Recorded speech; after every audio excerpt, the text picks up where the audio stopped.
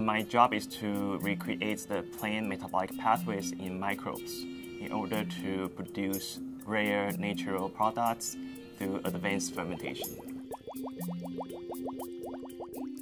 There are a number of natural uh, plant-based ingredients used in our daily life because the middle class population is growing. It's a huge increase in the global spending, so they're using more of those uh, consumer products.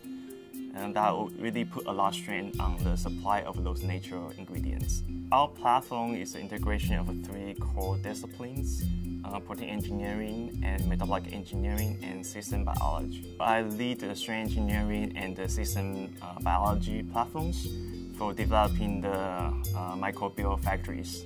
So my day-to-day responsibility includes um, interpreting the complex biological data, then uh, devise efficient uh, routes to engineer the microbes. We first identify the plant pathway enzymes then we introduce those uh, enzymes into the microbes.